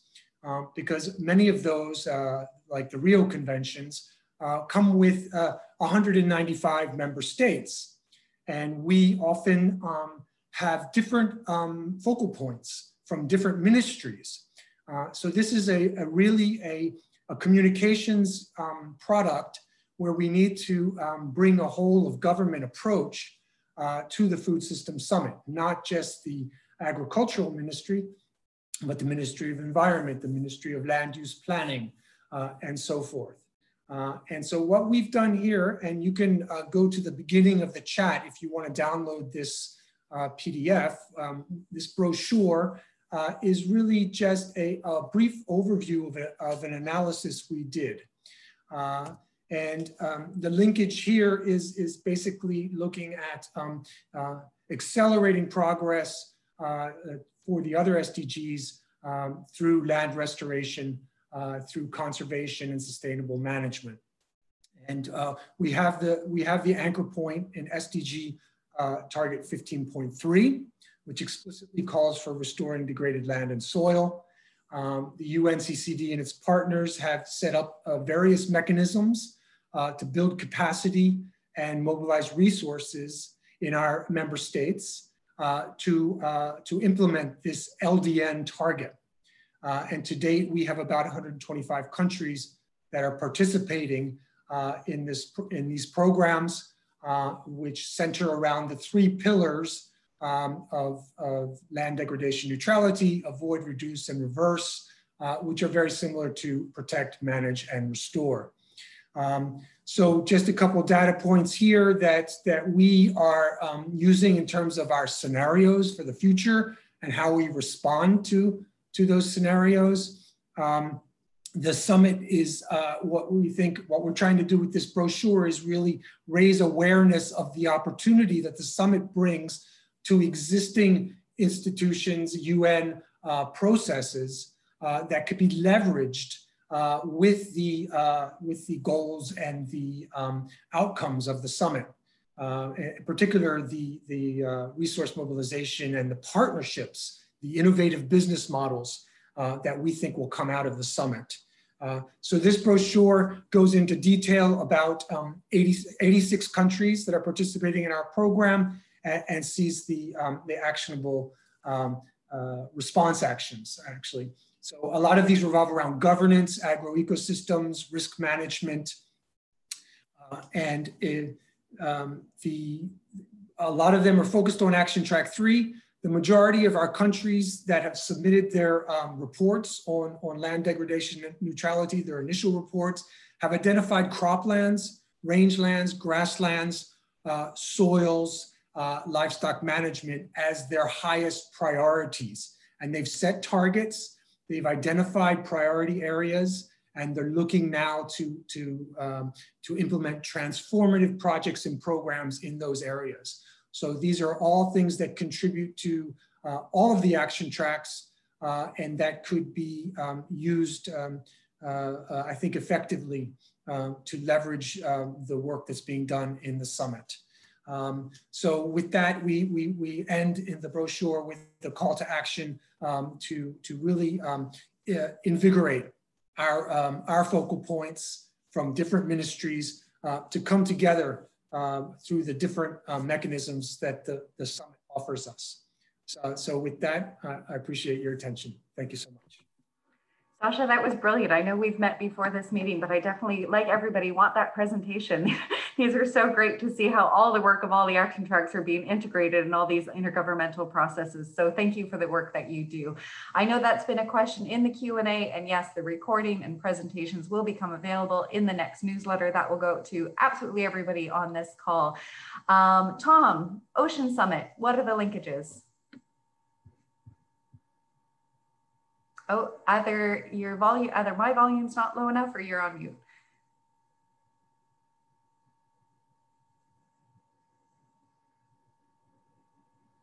No, still can't hear you. I can see you unmuting and muting yourself, so it should be working. Our computers are taking over. They're like, they finally figured out it after one year. Uh, I'll give you a minute to keep practicing. Um, and maybe Peter on our end from WWF, you want to try again? Go ahead. Tom? Nah. No. maybe um, uh, disconnect and reconnect and we'll try again. In the meantime, I was just going to add how some other inter interlinkages, interlinkages with other intergovernmental processes. Ooh, what a tongue twister. So you would have heard João today talk about the Committee on World Food Security.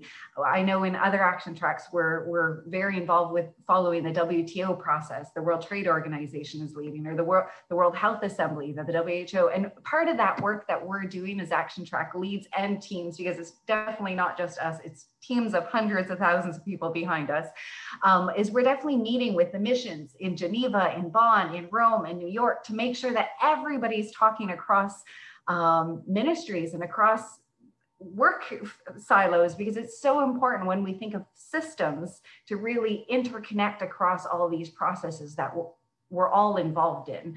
Um, it isn't easy. It's a huge challenge for all of us to stretch our brains um, to this level, but it, it's essential if we're really talking about systems. So Tom. Can you hear me now? Yes, perfect, perfect, perfect. segue. Back to you, Tom. I think, I think my Zoom uh, connection isn't used to me being muted all the time because I seem to talk too much. So, you know, that's what happens. Um, so anyway, thanks again, Christine, and thanks, Joe, for the opportunity. Um, I wanted to say that EDF, the Environmental Defense Fund, has been involved in the development of some of the uh, provisions in Action Track 3 uh, related to blue and aquatic foods. But I also wanted to offer a challenge and uh, both an offer and a challenge today to the other action tracks that the Environmental Defense Fund and the Blue Food Assessment Group that we're partnering with and the Friends of Ocean Action are happy to help identify ways that we can incorporate blue and aquatic foods into your action tracks as well. Uh, and in order to do that, I thought I'd whet your appetite uh, today with some examples of how blue and aquatic foods can meet not only the SDG 14, but a number of other SDGs. So I'm going to kind of do a quick run through the SDGs that we think are most uh, related to blue foods and then happy to answer any questions. So, so first of all, uh, SDG number one, no poverty. Blue foods feed some of the poorest and most vulnerable communities in the world, communities that are both micronutrient deficient as well as climate, uh, climate threatened. SDG number two, zero hunger. Blue foods provide affordable and, and accessible essential nutrients with less environmental impact than other animal proteins, particularly for many poor and vulnerable communities and coastlines across the world.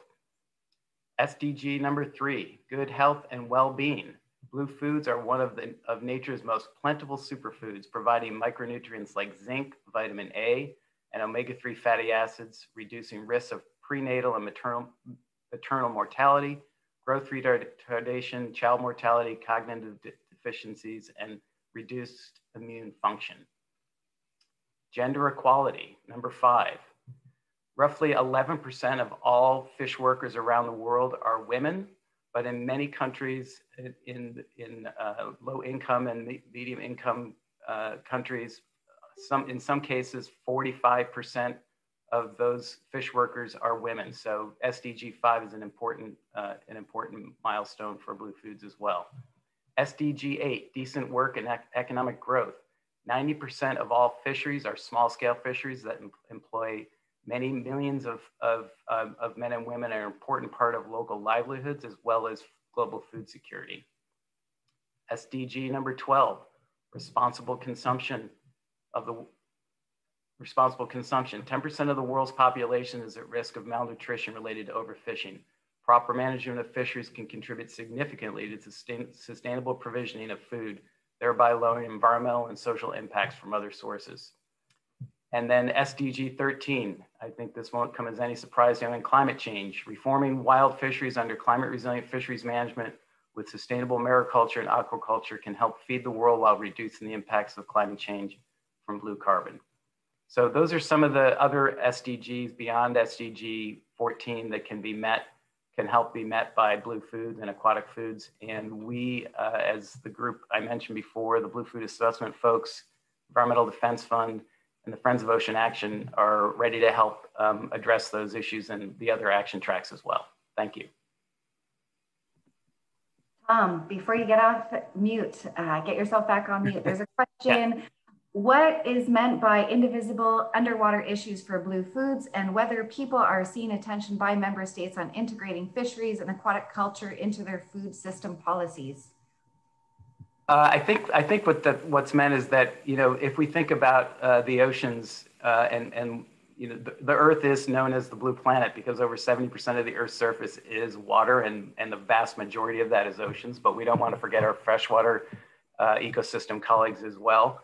Um, but it's not something we notice every day. We don't look at our window um, necessarily and see what is beneath the value, the biodiversity value, the climate change, the climate um, balancing that the oceans provide for our planet, the, the food that it provides, the jobs that it provides. Um, but, it, but it's an important part of what makes uh, Earth function for humans. And so I think the idea that it's, it's invisible is something um, that we need to, to make uh, more visible to people. And I think the UN Food Systems Summit would be a perfect place. Uh, and I think one of the biggest game changes that could come out of the UN Food Systems Summit would be to recognize blue foods as a fundamental part of solving uh, global food security across across um, across all action tracks and, and have it be first and foremost identified as a priority. So let's make it uh, visible or uninvisible. Mm -hmm. Excellent. Thanks, Tom. Century 91 Action Track 5, you're actively involved in all of these intergovernmental processes that we've just uh, showcased. Would you like to add a few words to that, to the work that you're doing, please? Yeah, absolutely, Christine. And I'll build a little bit on what Tom said as well. Um, the first point is that not only do we need to ensure that there's cross fertilization in terms of the way in which we interact with the governments, because they're all going to be saying sometimes slightly different things at these different conferences. So we need to hold governments accountable to the narratives and to the key points and pledges that we want to make through the UN Food System Summit Action Track work.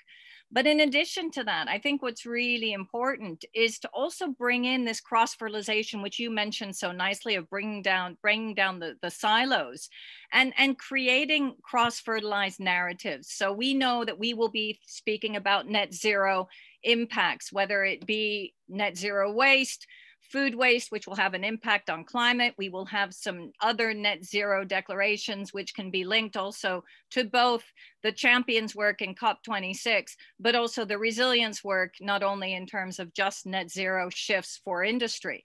So I think that, again, that cross fertilization is really important. So the more that we can all come together with very similar calls to action, the better it will be if we really want to meet all of our joint ambitious goals. And I think the one other point I wanted to just make on blue food is that it's not only blue food, but it's the interaction between the oceans and the land. As i was indicating some of those more fragile zones the the impact that we know climate change is having on island states and also the loss of some of their uh, blue food. So i think again that interrelationship and understanding the need to bring in all the different parts of the food system and to think through it also in terms of different geographies and how they're impacted differently Great, thanks so much for that, Sundri. One question that I'm going to throw back to the panelists is, how are we engaging farmers in each of these agendas, in intergovernmental processes that we've heard today? And I think that's super important to touch on. Sundri just mentioned accountability, and we all, all stakeholders that are involved in these processes have a different role to play and an equally important role to play. And we appreciate that even consultations such as the one that we're involved in today, people have connectivity issues access to the internet. Some of our presenters today that knew that they were presenting are also struggling. We also know that they're time consuming. They take time away from our loved ones, our jobs. So how do we really make sure that the voices of the most underrepresented are put forward? Um, we also know the inherent biases. Who owns the cell phone in the household? Um, is it the mom? Is it the dad? And all that weighs into the, the view, the, the lens upon which um, we're getting this information.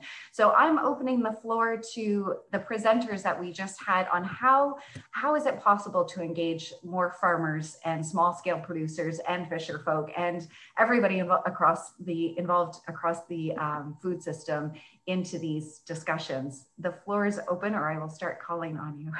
Christine, I'll, I'll, I'll jump in since my mute is still off. Um, so we, the Environmental Defense Fund and a number of other colleagues launched uh, earlier this year a um, interactive website called the Small Scale Fisheries Hub. And I'll put a link to it in the chat, but it's an opportunity for fish, fishers and fish workers around the world to learn about solutions for their livelihoods as well as for the oceans that they rely on.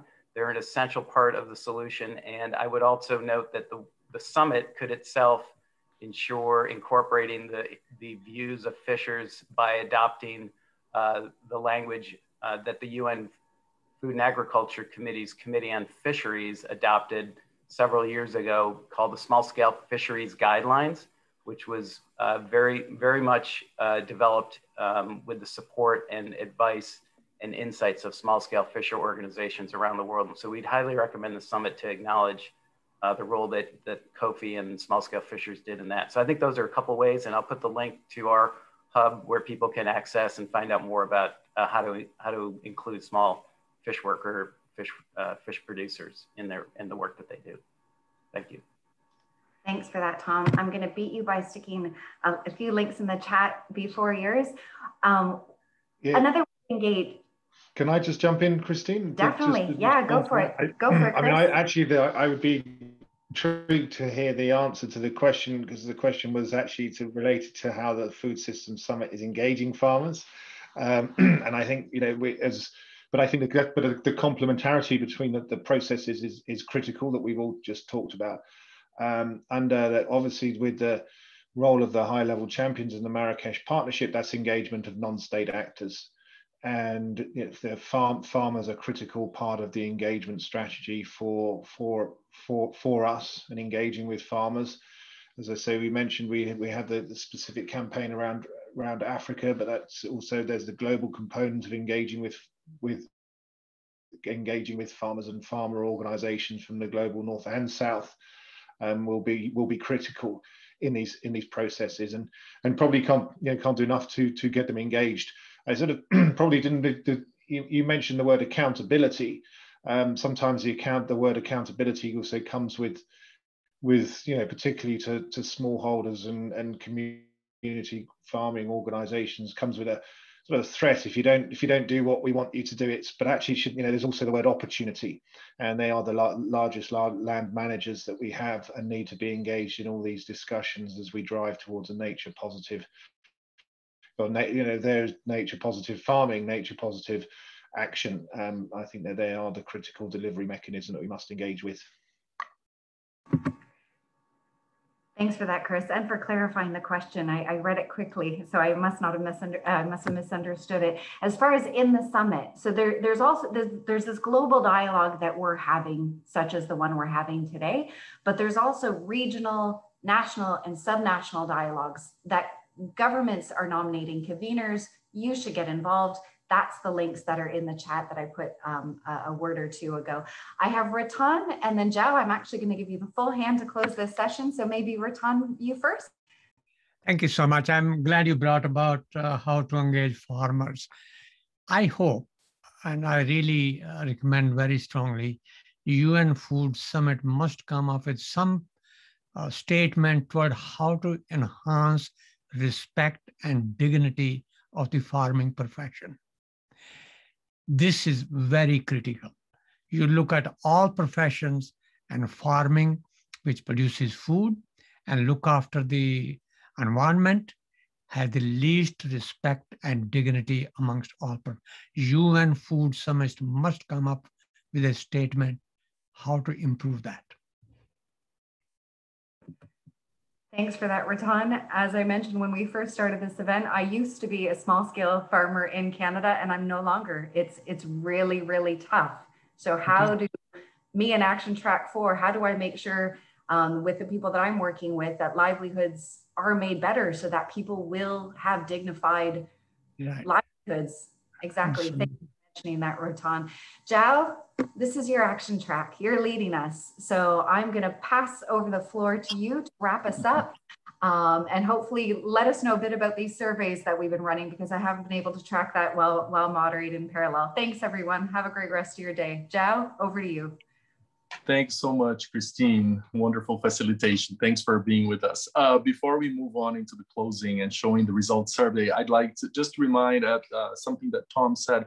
Blue Food cuts across action tracks because it's only being managed. See, in these action areas, we have clusters of solutions that are managed managed by different action tracks on behalf of all other action tracks. So, you know, Blue Food is one of these um, examples, as we've been speaking, Tom, that cuts across from action track one to five. So, you know, rest assured that we will have members of each action track engaged with you to, to move this forward.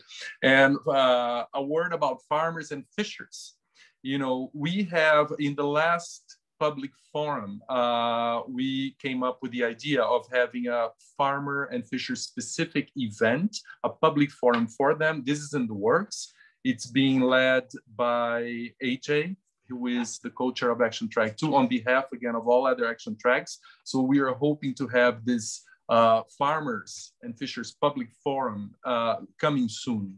So, you know, now, can this, I, is, this is, yeah, please. Sorry, can please I jump in there real quick? Because I wanted to mention where uh, EDF and others are also going to host a dialogue uh, with fishers and farmers and wanted uh, specifically to mention it to Ratan and others who, who want to see the sort of respect for that part of our food production system uh, recognized more. And my colleague was will put the link to it in the chat. So I'm sorry to interrupt you.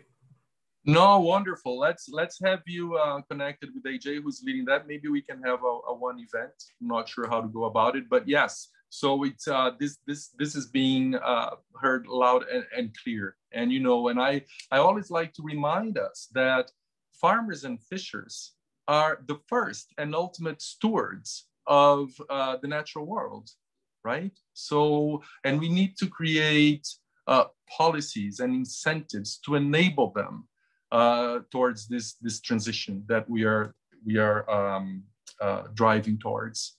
You know, there are um, nine harvests for us to make the change and, and deliver the 2030 sustainable development goals. This is not much time and we need to work with farmers and fishers from every size, from every country to help make this transition. Without them on board, uh, the transformation of the food system won't happen.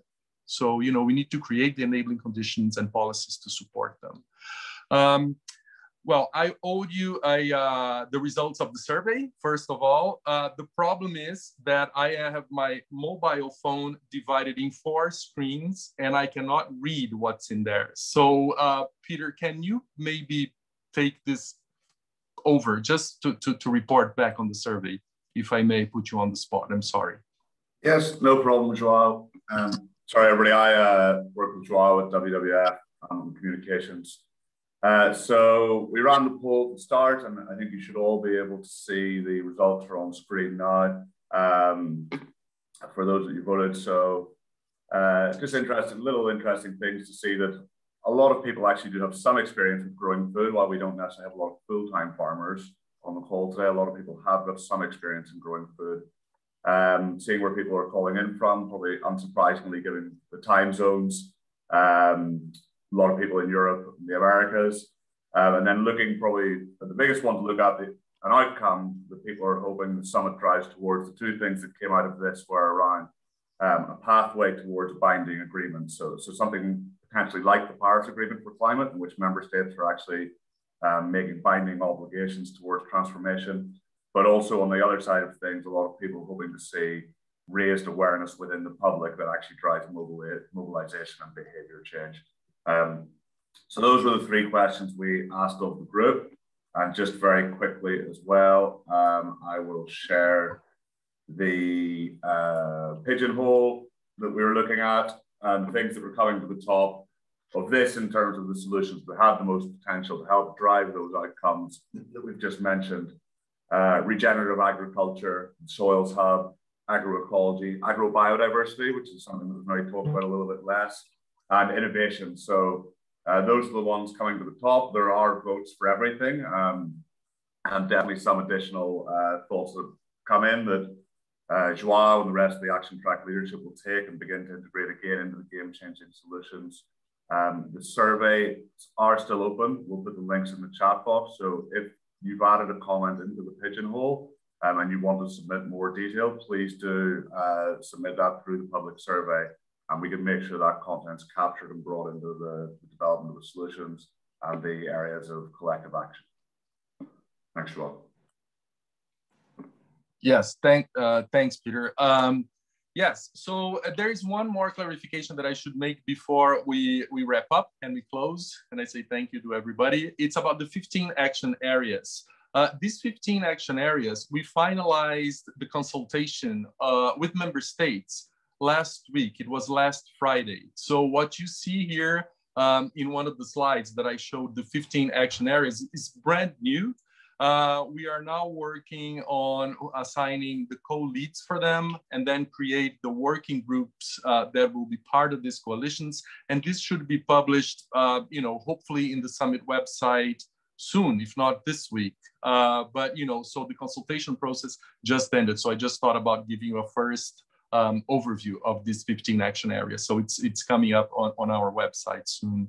Um, well, look, I now it's the moment for me to, to, to be grateful to you. I would like to start by thanking um, UNCCD, who are co-conveners of Action Track 3 alongside WWF and who is engaging all the UN agencies. Uh, so uh, Miriam and Sasha, you're doing a fabulous job and thank you for your for your support in this. I'd also like to thank all of our action area leads of Action Track 3. Uh, you are an A team and we would not be able to deliver what we are delivering uh, without you on board. So thank you for, for your generous uh, time and effort to guide us um, you know, in a, in a, in a stable and, and concrete pathway towards um, the summit. I'd also like to thank my uh, colleagues from other action tracks, the action track chairs. It's a joy to work with you almost on an everyday basis. And uh, so thank you for connecting with Action Track 3, for uh, looking for synergies. And, uh, you know, we have ahead of us a, a really uh, inspiring road to transform the food system. So thank you for joining our public forum. Also, I would like to thank the participation of our uh, external guests that took their time, uh, you know, to talk to us about how to better integrate the work of our action track uh, three uh, with the climate, biodiversity, land, and oceans agenda. So thanks, Chris, David, Tom, and Sasha. And uh, thanks to Christine, uh, our uh, great colleague from Action Track 4, who did a, a, wonderful job at facilitating the event. Thank you so much. Uh, thank you to all my WWF team who put this, this session together and organized. There's a lot of work that goes behind the scenes for this to happen. So thank you very much. And finally, thanks to all of you, you know, who have been pushing us and who have been advising us to do better as we move along. Uh, the food, the transformation of the food system is not easy. There is not a single angle to it. And uh, we need to be pushed and we need to push each other. So let's do it. Let's push each other. We have nine harvests ahead of us to deliver the change that we need to, to, to attain to deliver the SDGs. And I am most grateful to all of you, member states and member states and everyone who joined us today. So thank you very much. Have a great day and I will see you next time. Goodbye.